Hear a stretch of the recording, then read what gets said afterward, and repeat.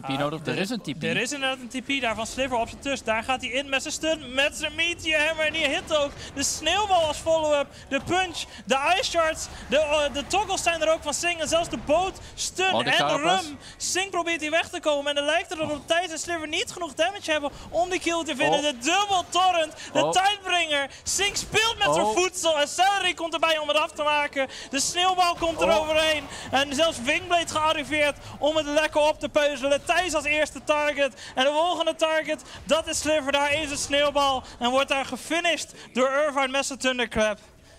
Ai, ai, ai, caramba. Boot plus armlet toggles. Dat, hoe ga je daardoor